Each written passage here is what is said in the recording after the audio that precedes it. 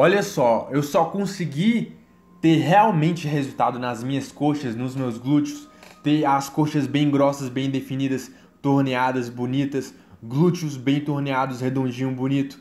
Eu só consegui fazer isso depois que eu coloquei essas sete coisas que eu vou mostrar para vocês nesse vídeo em prática. Então presta atenção e vamos lá. A primeira coisa que me ajudou a ter pernas, glúteos bem desenvolvidos, grossos, a partir dessa coisa aqui foi que eu comecei a ter os melhores resultados de perna, de crescimento, de definição na minha vida foi fazer exercícios diferentes em todos os meus treinos, tá?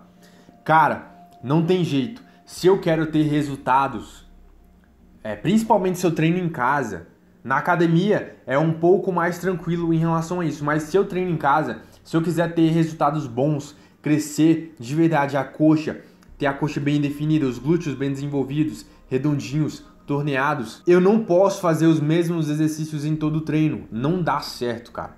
Porque na calistenia, principalmente em treinos em casa, geralmente a gente não usa carga, né? A gente não tem peso. Então, para a gente progredir nos exercícios é muito mais complicado. Então, a alternativa é sempre estar tá fazendo exercícios diferentes para aquele grupo muscular. Então, ao invés de fazer agachamento livre em todo o treino, eu vou fazer num treino agachamento livre, no outro treino eu vou fazer split squat, no outro treino eu vou fazer passadas, no outro treino eu vou fazer sit squat, metric squat, uma porrada de exercícios diferentes para aquele mesmo grupo muscular, que é coxa, glúteo, panturrilha, etc, tá? Então, existem inúmeros exercícios que eu posso fazer para o mesmo grupo muscular, para coxa, para glúteo, para panturrilha posterior de coxa, lombar. Aqui no meu canal eu tenho vários e vários exercícios, tá? Para esses grupos musculares. Se você quiser saber, se você tiver interesse, coloca aqui na, na aba de pesquisa aqui do YouTube, Daniel Cunha mais o músculo que você quer trabalhar, tá? Você vai achar alguns vídeos mostrando exatamente esses músculos, então fica à vontade para ver isso, tá? Então, a primeira coisa é fazer exercícios diferentes para o mesmo grupo muscular em cada treino. A segunda coisa que mais me deu resultados de estética foi fazer exercícios isolados. O que, que são exercícios isolados? São movimentos, são exercícios que eles dão ênfase em um músculo só. Por exemplo, o agachamento livre, ele é um exercício composto. Ele pega vários músculos ao mesmo tempo. Pega glúteo, pega lombar, pega coxa. E exercícios isolados são movimentos que eles pegam apenas, eles, eles dão ênfase, né? Apenas em um grupo muscular por vez. Então, você tem, por exemplo, o sissy squat, que ele dá ênfase principalmente no quadríceps. Você tem aí o exercício de é, elevação pélvica, que dá ênfase no glúteo. Então, quando eu comecei a incluir esses movimentos nos meus treinos, a coisa começou a ficar melhor. Eu comecei a ter melhores resultados do que treinar só aqueles exercícios que pegam vários músculos ao mesmo tempo. Muita gente não conhece exercícios isolados na calistenia, mas aqui no canal eu tenho vários vídeos falando sobre isso. Aquele esquema, coloca aqui na aba de pesquisa Daniel Cunha mais o exercício, o músculo que você quer, que você vai achar. E, lógico, eu não posso deixar de falar, aqui no link da descrição eu vou deixar para vocês uma série de vídeos gratuita tá? Gratuita, não tá aqui no YouTube, mas eu vou deixar aqui na descrição do vídeo um link para você ir acessar uma série de vídeos gratuitos onde eu mostro as regras, as técnicas, os atalhos para ter as pernas, glúteos extremamente bem desenvolvidos, as coxas, né? Extremamente bem desenvolvidos, definidos, fortes, bonitos, estéticos, torneados, treinando em casa. Como foi que eu fiz isso? O que que eu uso? Os atalhos que eu uso nos meus treinos, as regras e as técnicas principalmente que eu uso nos meus treinos pessoais para ter essas pernas que eu estou mostrando para vocês aí, treinando principalmente calistenia, treinando sem carga em casa, tá? Lógico, hoje em dia eu já faço academia, mas as coisas que eu faço na academia eu consigo fazer em casa e ter exatamente os mesmos resultados estéticos, tá? Se você quiser saber mais sobre isso, clica aqui no link que eu estou deixando aqui embaixo e visita lá. É de graça, aproveita isso aí, tá? A terceira coisa que mais me ajudou até hoje a ter melhores resultados de estética nas minhas pernas, nos meus glúteos, nas minhas coxas, foi utilizar faixas diferentes de repetições nos meus treinos. Então, por exemplo, existem treinos mais pesados onde eu vou conseguir fazer no máximo 5 repetições, 8 repetições, e existem outros treinos que eu vou conseguir fazer exercícios que eu consigo realizar 20, 30 repetições, tá? Então eu nunca vou fazer sempre um número X de repetições sempre. Eu vou estar sempre variando. Porque, por exemplo, repetições até 5 repetições, exercícios que eu consigo fazer no máximo, falhando as 5 repetições, são exercícios mais focados em força, é, são mais intensos, né? E, por exemplo, movimentos que eu consigo fazer até 12 repetições, falhando né, nas 12 repetições, não consigo mais fazer nenhuma repetições além das 12, 15 repetições, são exercícios mais voltados para hipertrofia. E também tem aqueles exercícios que eu consigo fazer 20, 30, 50 repetições, que são exercícios mais voltados para resistência. Isso aqui de uma forma mais leiga, tá? Para que você entenda. Mas é o que funciona melhor.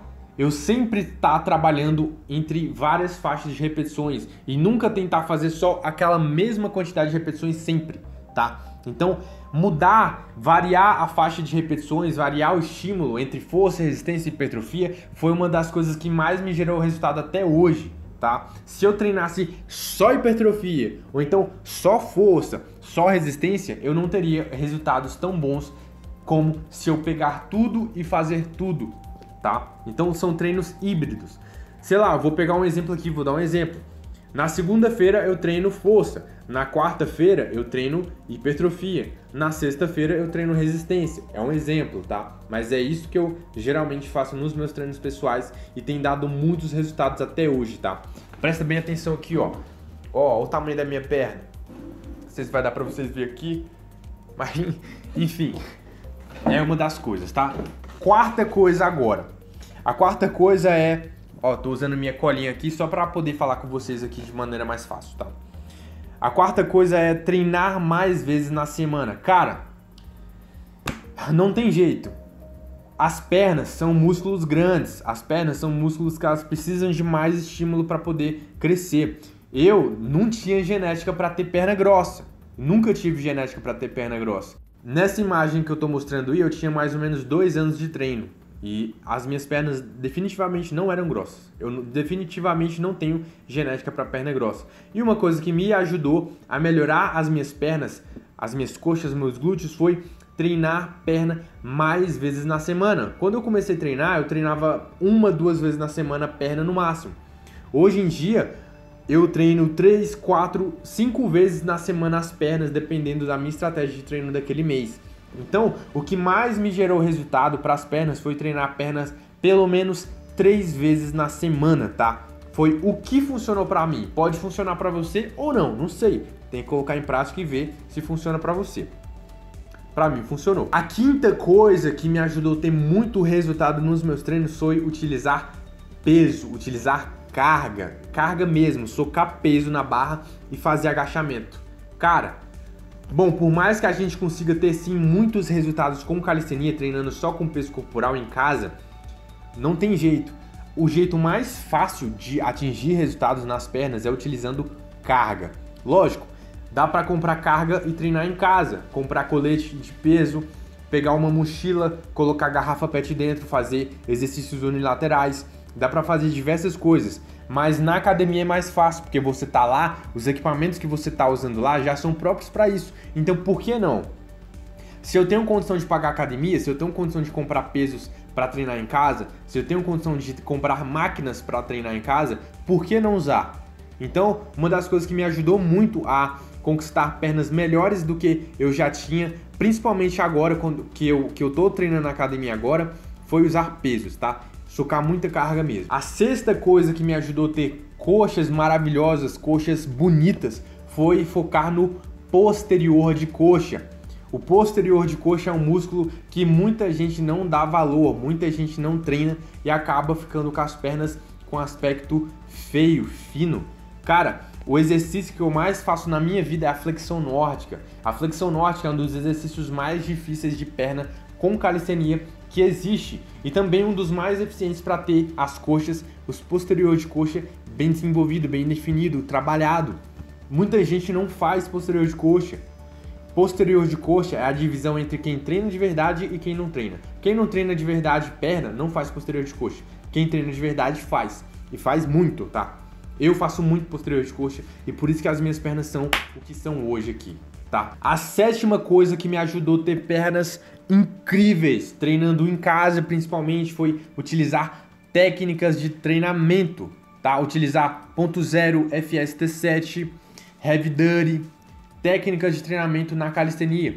Cara, na academia é muito interessante utilizar essas técnicas de treino, mas na calistenia elas vão ser muito mais úteis, porque na calistenia a gente não usa carga, a gente não usa peso. Então, as técnicas de treino elas são obrigatórias para quem treina calistenia em casa, ou no parque, ou na praça, ou sei lá, eu estou viajando, estou no hotel, eu tenho que utilizar técnicas de treino. Se eu não souber, meus treinos vão ser limitados e eu não vou ter tantos ganhos igual eu poderia ter, entendeu? Então é obrigatório. Essas técnicas de treino eu vou mostrar para vocês naquele link que eu coloquei aqui embaixo, aqui no perfil. Eu não vou falar aqui nesse vídeo porque senão vai ficar muito grande, mas se você tiver interesse, clica aqui embaixo no link que eu tô deixando para você ver isso, tá? É importante. Isso é uma das principais coisas que me deu o resultado que eu tenho hoje, treinando em casa, ok? Então clica aqui embaixo no link que eu estou deixando aqui na descrição do vídeo, visita lá e vê essas técnicas de treino, tá? Bom, eu quero que você me siga no Instagram, arroba Cunhov, eu posto conteúdo todos os dias, conteúdo bacana, que você não vai ver aqui no YouTube porque não vem, não convém postar aqui no YouTube. E, lógico, se você quiser comprar algum produto da Growth Suplementos com até 14% de desconto em todo o site da Growth, usa o cupom CUNHA lá no site da Growth Suplementos e você vai ter esse desconto. Não vacila, não vai comprar na Growth sem usar esse cupom de desconto, senão você vai perder dinheiro. Galera, são até 14% de desconto. 14% numa compra de mil reais, por exemplo, é mais de 100 reais de desconto. São 140 reais de desconto, tá? Então é uma grana que você está deixando de ganhar aí se você não usar esse cupom. Então eu espero que você tenha gostado do vídeo. Comenta aí o que, que você achou.